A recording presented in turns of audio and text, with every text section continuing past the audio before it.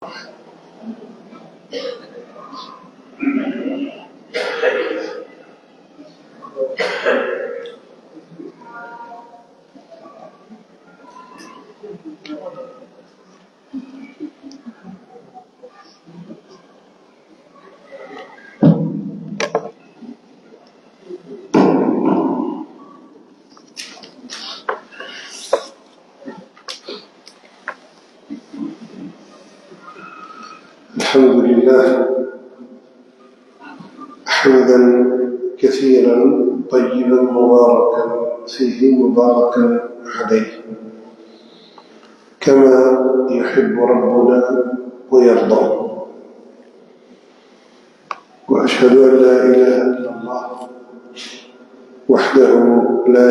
شريك له خلق فسوى وقدر فهدى.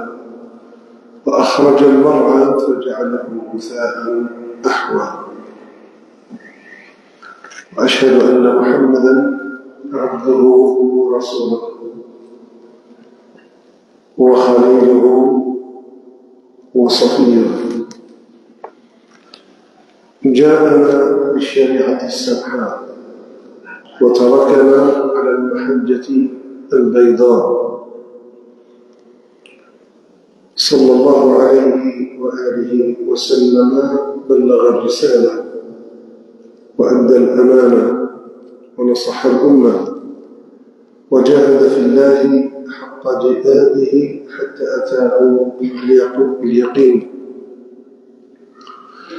ورضي الله تعالى عن صحبه الكرام. أئمة الهدى ومصالح الدجى. وعن أزواجه أمهات المؤمنين الطيبات القانتات العابدات. وعن سائر الصحب الأطهار الكرام وعنا معهم برحمتك يا رب العالمين. هذا الدرس تتمة للدروس التي مضت. ونحن نتكلم عن عبادة زهد فيها كثير من الناس. هي يسيرة وأجرها عظيم عند الله. ولكن الله سبحانه وتعالى كما لا يخفى على شريف علمك يوفق من يشاء للعبادات والطاعات والقربات ويصرف من يشاء عن هذه الأجور والحسنات ربك تعالى يفعل ما يشاء ويختار وهو يعلم وأنتم لا تعلمون. بيده الخير وهو على كل شيء قدير. الحديث الذي يعني وقفنا عنده وقرأناه على مسامعكم في بيان فضل الذكر. وأجر الذاكرين مرتبتهم مكانتهم ما لهم عند الله من الفضل والأجر والثواب. آخر حديث وقفنا عنه في الصحيحين عن أبي هريرة رضي الله عنه أن فقراء المهاجرين أتوا رسول الله صلى الله عليه وسلم وبارك عليه فقالوا ذهب أهل الدثور والدثور جمع دثر قال وهو المال الكثير. فالفقراء يقولون ذهب أهل الدثور بالدرجات العلى والنعيم المقيم. يصلون كما نصلي ويصومون كما نصوم. ولهم فضل من أموال يحجون ويعتمرون ويجاهدون ويتصدقون. فقال ألا أعلمكم أو ألا أعلمكم شيئا تدركون به من سبقكم؟ وتسبقون به من بعدكم. ولا يكون أحد أفضل منكم إلا من صنع مثل ما صنعتم. قالوا بلى يا رسول الله. قال تسبحون وتحمدون. وتكبرون خلف كل صلاة ثلاثا وثلاثين. قال أبو صالح الراوي عن أبي هريرة لما سئل عن كيفية ذكرهن قال يقول سبحان الله والحمد لله والله أكبر. حتى يكون منهن كلهن ثلاث وثلاثين. قال وزاد مسلم في روايته فرجع فقراء المهاجرين إلى رسول الله صلى الله عليه وسلم. فقالوا سمع إخواننا أهل الأموال بما فعلنا ففعلوا مثله. فقال رسول الله صلى الله عليه وآله وسلم ذلك فضل الله يؤتيه من يشاء. وروى ابن حبان عن مالك بن يخامر أن معاذ بن جبل رضي الله عنه قال له إن آخر كلام فارقت عليه رسول الله صلى الله عليه وسلم. أن قلت أي الأعمال أحب إلى الله؟ قال أن تموت ولسانك رطب من ذكر من ذكر الله. ها أنت ترى أيها الحبيب أن هذه العبادة يسيرة يعني إذا أردت أن تقوم بها الأمر لا يتطلب مشقة فهي فهي سهلة ويسيرة. لكن على من يسر الله له ذلك. على من وفقه الله وسدده وأرشده وهداه فأقام هذه العبادة لله. والدليل يسيرة لكن قليل فائدة يسيرة لا تتطلب لا تتطلب جهدا كبيرا. سهلة. لكن كم عدد الذين يفعلون ويواظبون ويداومون؟ مع انها يسيره هنا تعلم أن الأمر بيد الله هو الذي يوفق وهو الذي يسدد وهو الذي يمتن بفضله على من يشاء من عباده سبحانه لا إله إلا هو. إخواننا الفقراء من المهاجرين يأتون إلى النبي. اللهم صل وسلم وبارك عليه. يقولون يا رسول الله ذهب أهل الدثور بالأجور أصحاب المال. ذهبوا بالأجور. يقول النبي كيف ذلك؟ كيف ذهبوا بالأجور؟ قالوا يا رسول الله يصلون كما نصلي ويصومون كما نصوم إلا أن له فضل من أموال. يحجون يعتمرون يجاهدون يتصدقون. ونحن ليس لنا المال الكافي لنفعل هذا الذي يفعله إخواننا الأغنياء. النبي قال لهم نبينكم حاجة نعلمكم شيء. تلحقوا به وتسبقون به من بعدكم وكما قال عليه الصلاة والسلام ألا أعلمكم شيئا تدركون به من سبقكم؟ وتسبقون به من بعدكم؟ ولا يكون أحد أفضل منكم إلا من صنع مثل ما صنعتم. قالوا بلى يا رسول الله. علمنا قال تسبحون وتحمدون وتكبرون خلف كل صلاة أي دبر كل صلاة. تقول بعد الصلاة بعد تسليم الإمام إذا كنت في جماعة وسلمت آه، بتسليم إمامك تقول سبحان الله. ثلاثا وثلاثين الحمد لله ثلاثا وثلاثين. وتكبر الله ثلاثا وثلاثين. ففعل الفقراء على طول. راحوا يأتون بهذا الذكر دبر الصلاة. الأغنياء من إخواننا سمعوا هذا الكلام الذي قاله رسول الفقراء لفقراء المهاجرين.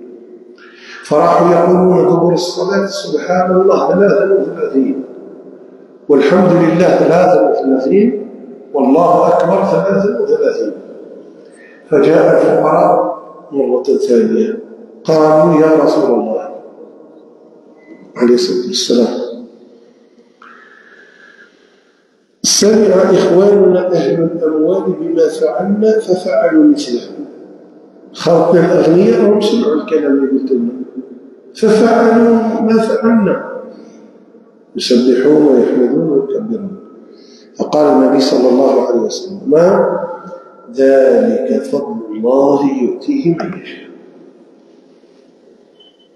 هؤلاء أعطاهم الله الذكر وهؤلاء أعطاهم الله الذكر والمال. قالوا كيف كيف نصنع؟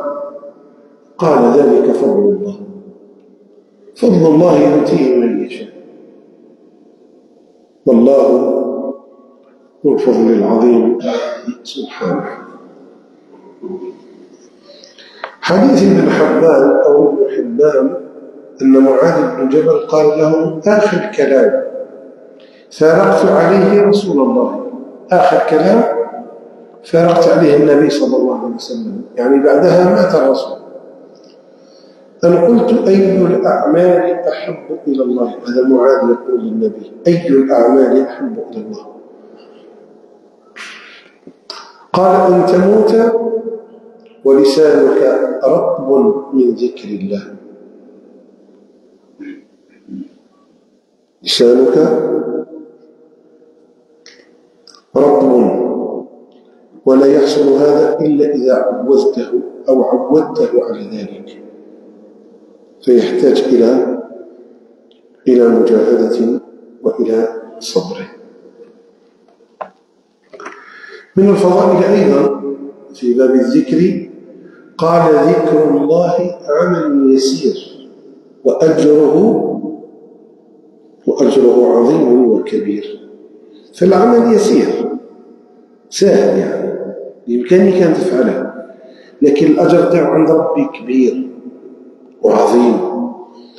روى مسلم عن سعد بن أبي وقاص رضي الله عنه قال كنا عند رسول الله صلى الله عليه وآله وسلم. فقال أيعجز أحدكم أن يكسب في كل يوم ألف حسنة؟ الله أكبر. في كل يوم ألف حسنة؟ فسأله سائل من جلسائه اللي كانوا قاعدين معه سأل النبي. قال كيف يكسب ألف حسنة؟ كيف يدي في اليوم ألف حسنة؟ قال يسبح مئة تسبيحة فيكتب له ألف حسنة أو يحط عنه ألف خطيئة. الله يبارك خير كبير يعني إذا جلس الإنسان وقال سبحان الله سبحان الله سبحان الله حتى يصل المئة مئة تسبيحة. ما هو الجزاء؟ العمل يسير ولا يستغرق الوقت الطويل والكثير. كلمة سبحان الله مئة مرة. خذ الساعة الآن. وردد هذه الكلمة مئة مرة كم تستغرق من الوقت وقت يسير. والجهد قليل. لكن قل لي ماذا لك من الأجر عند الله؟ الأجر؟ قال فسأله سائل من جلسائه كيف يكسب ألف حسنة؟ قال يسبح مئة تسبيحة فيكتب له ألف حسنة. يعني ما تجيب مئة تسبيحة. عندك ألف. ألف حسنة. إذا جبت مئة تسبيحة ربي يحط عليك ويمحي عليك ألف خطيئة. سبحان الله. فانظروا كم فرطنا في هذا الأجر. العظيم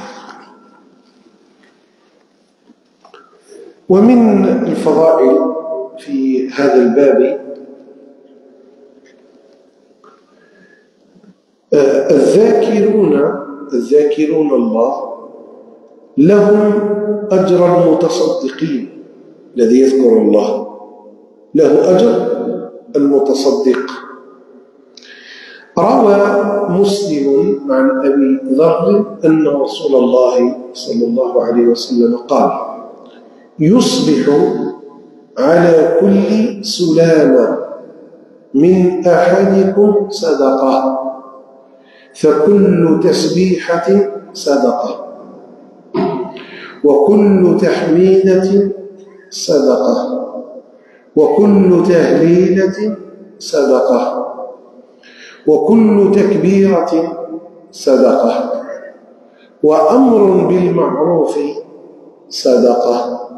ونهي عن المنكر صدقة ويجزئ من ذلك ركعتان يركعهما من الضحى. يعني المفاصل والجوارح اللي فيك العظام هذه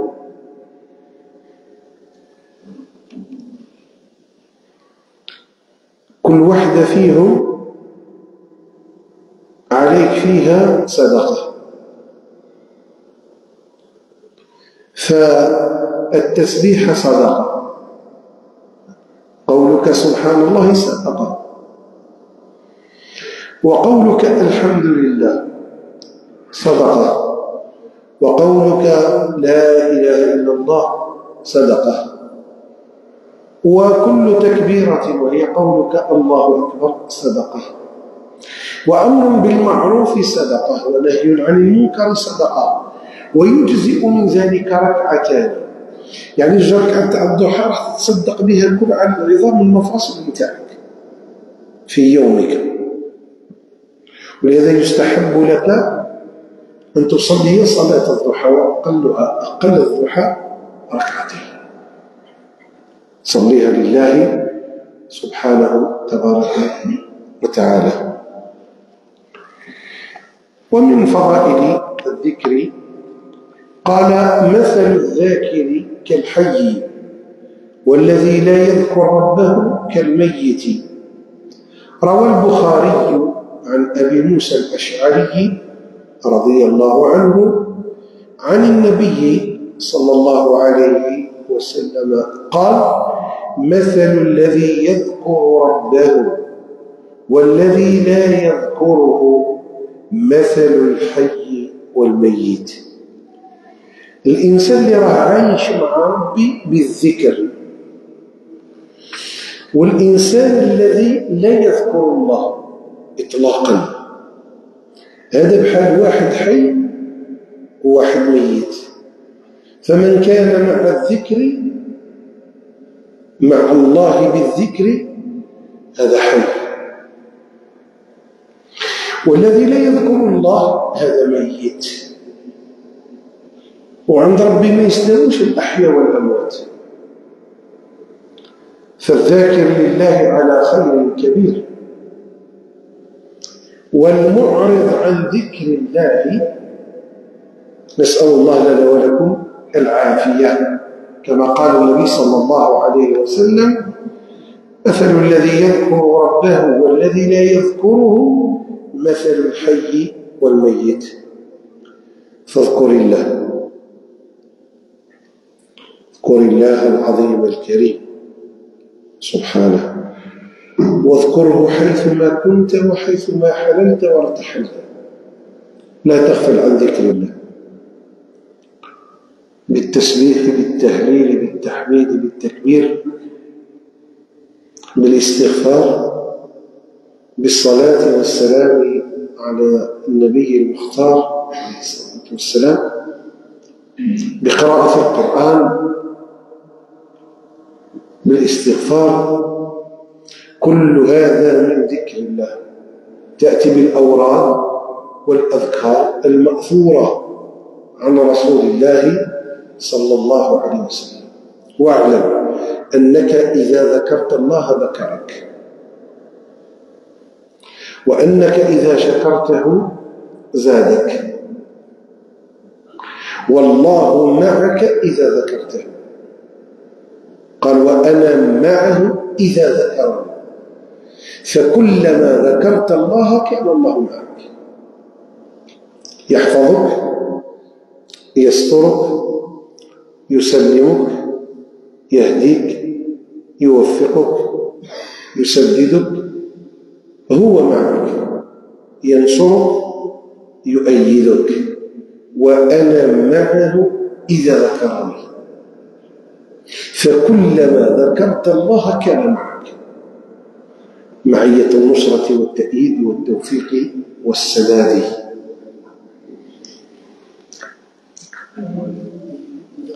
قال ورواه الإمام مسلم بلفظ مثل البيت الذي يذكر الله فيه. البيت البيت بيتي وبيتك وبيوت المؤمنين.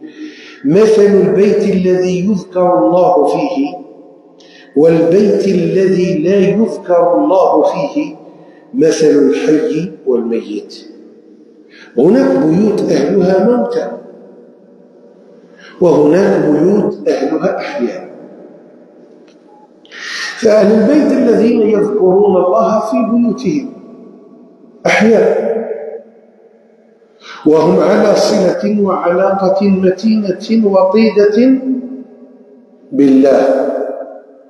فهم يذكرون الله في بيوتهم.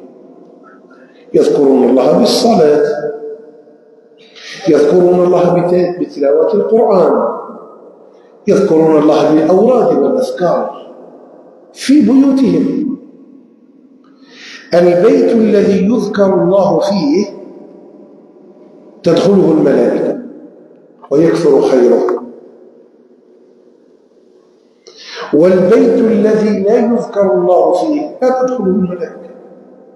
تكثر فيه الشياطين ويقل فيه الخير ويحرم أهله البركة والتوفيق. هذا البيت الذي يذكر الله فيه وهذا البيت الذي لا يذكر الله فيه كمثل الحي والميت أو كما قال النبي صلى الله عليه وسلم قال وروى مسلم عن أبي موسى الأشعري الذاكرون هم السابقون. الذاكرون هم السابقون. روى مسلم عن أبي موسى الأشعري قال قال رسول الله. سبق المفردون. سبق؟ سبق المفردون. قالوا وما المفردون يا رسول الله؟ قال الذاكرون الله كثيرا والذاكرات. من هم السابقون؟ من هم؟ السابقون يقال لهم المفردون سبق المفردون. قالوا يا رسول الله المفردون من هم؟ قال الذاكرون الله كثيرا والذاكرات. هم السابقون إلى الله سبحانه جل وعلا. قال ومن فضله من فضل الذكر قال ذكر الله يجعلك من المتمسكين بشرعه بشرع الله. روى الترمذي في سننه وحسنه. عن عبد الله بن بسر رضي الله عنه أن رجلا قال يا رسول الله إن شرائع الإسلام قد كثرت علي فأخبرني بشيء أتشبث به. قال لا يزال لسانك رطبا من ذكر من ذكر الله. الشرائع كثيرة. حاب نحافظ على حاجة ونتشبث بها وما نخليهاش. قالوا النبي خلي لسانك ديما يذكر الله. لسانك رطبا من ذكر الله. فأسعد الناس بالله الذين يذكرون الله قياما وقعودا وعلى وعلى جنوبهم. لا تفرط وذكر الله أيضا هذا من الفضائل.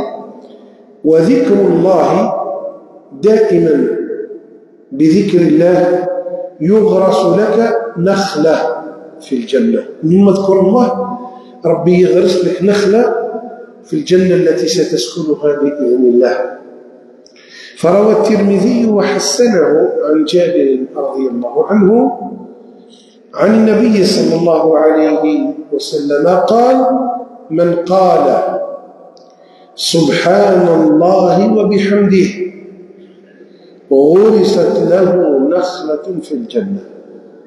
سبحان الله وبحمده نخلة في الجنة انتهت رزقك. فإذا قلت مئة عندك مئة نخلة غرست لك في الجنة. هذا الفضل تاع الله سبحانه وتعالى. وغراس الجنة هو ذكر الله عز وجل. روى الترمذي وحسنه عن ابن ابن مسعود رضي الله عنه قال قال رسول الله صلى الله عليه وسلم لقيت إبراهيم ليلة أسري بي في ليلة الإسراء والمعراج. لقيت إبراهيم ليلة أسري بي. فقال يا محمد أقرب أمتك مني السلام. يعني ربي يسلم على أمة محمد. وأخبرهم أن الجنة طيبة التربة. الجنة التربة نتاعها طيبة. عذبة الماء ماء عذب. وأنها قيعان. وأن غراسها الغراس تاع الجنة وش هو؟ سبحان الله والحمد لله ولا إله إلا الله والله أكبر. ولذكر الله أكبر. ذكر الله هذا من الفضائل. ذكر الله خير الأعمال عند الله. خير الأعمال عند الله أن تذكر الله. سبحانه. روى الترمذي عن أبي الدرداء رضي الله عنه قال قال رسول الله صلى الله عليه وسلم ألا أنبئكم أخبركم ألا أنبئكم بخير أعمالكم وأزكاها عند مليككم وأرفعها في درجاتكم وخير لكم من إنفاق الذهب والفضة وخير لكم من أن تلقوا عدوكم فتضربوا أعناقهم ويضرب أعناقكم قالوا بلى. قال ذكر الله تعالى. أمر كبير يا سيدي حاجة عظيمة عند الله سبحانه وتعالى. خير الأعمال أزكاها عند الله أرفعها في الدرجات. وخير من إنفاق الذهب والفضة وخير من أن تلقوا عدوكم فتضربوا أعناقهم ويضربوا أعناقهم قال وش هذا العمل هذا الجليل الكبير العظيم؟ ما هو يا رسول الله؟ قال ذكر الله تعالى. أعيد. اذكروا الله يذكركم. قال الله تعالى فاذكروني أذكركم. اذكروا الله يكن معكم. قال في الحديث القدسي وأنا معه إذا ذكرني. اذكروا الله تفلحوا. اذكروا الله يغفر لكم. قال والذاكرين الله كثيرا والذاكرات. أعد الله لهم مغفرة وأجرا عظيما. أحرصوا. أحرصوا على الذكر. واملأوا أوقاتكم. الأوقات هذه راح تعيشوها املأوا أوقاتكم بذكر الله. لا تغفلوا. لا تكونوا من الغافلين.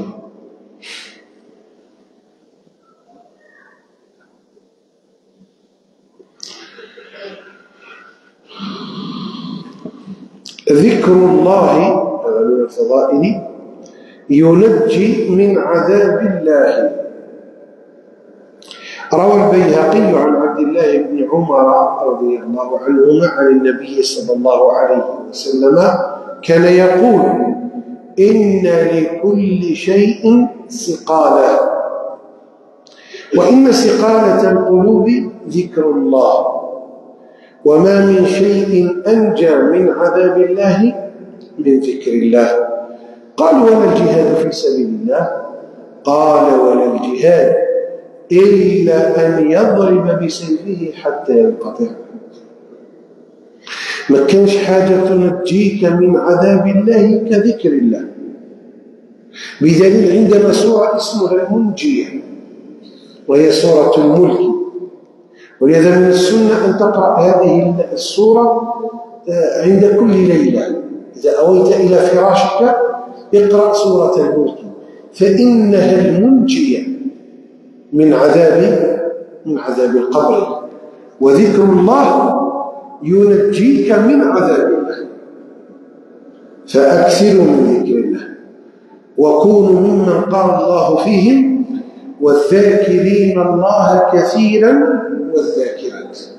أعد الله لهم مغفرة وأجرا عظيما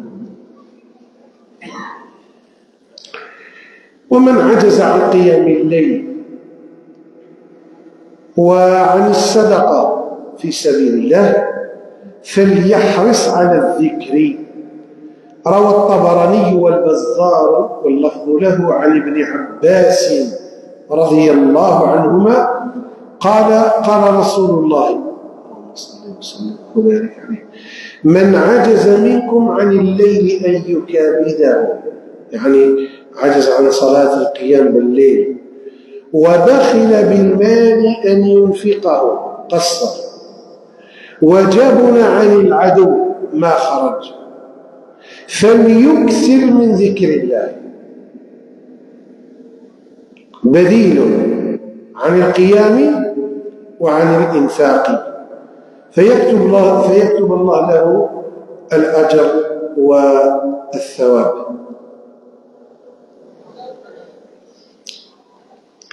من الفضائل فضائل الذكر الله يباهي ملائكته بالذين يذكرونه. روى مسلم عن معاوية رضي الله عنه أن رسول الله صلى الله عليه وسلم خرج على حلقة من أصحابه. أصحابه كانوا ذي حلقة. فقال ما أجلسكم؟ علاش قعدتم قالوا جلسنا نذكر الله ونحمده ونحمده على ما هدانا بالإسلام ومن به علينا.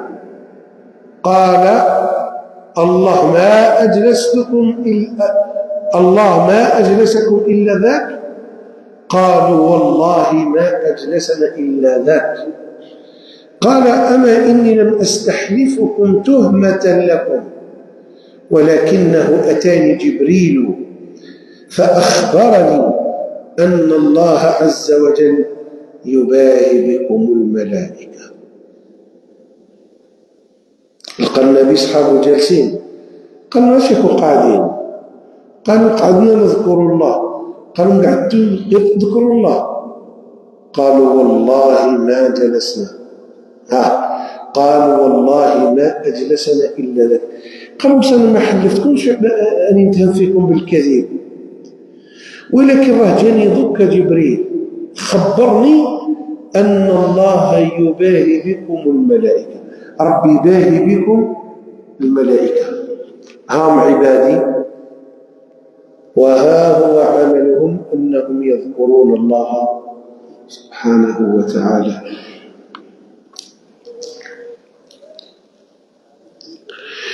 ومن فضائل ذكر الله قال ذكر الله سبب لمغفرة الذنوب. اللهم اغفر لنا ذنوبنا. روى الإمام أحمد عن أنس بن مالك رضي الله عنه عن رسول الله صلى الله عليه وسلم قال ما من قوم اجتمعوا. كما إحنا ذكر إحنا مجتمعين.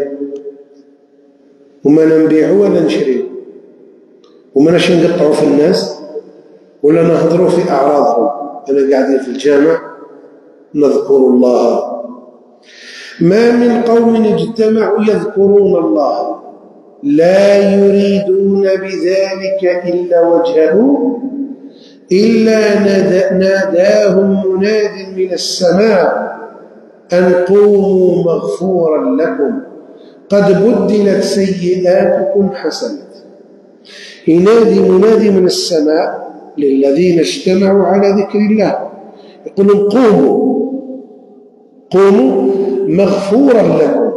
ربي يغفر لكم وبدل السيئات نتاعكم بدلها حسنات وروى الطبراني عن سهل بن حنظل قال قال رسول الله صلى الله عليه وسلم ما جلس قوم يذكرون الله عز وجل إلا ناداهم مناد من السماء أن قوموا مغفورا لكم قد بدلت سيئاتكم. حسنات.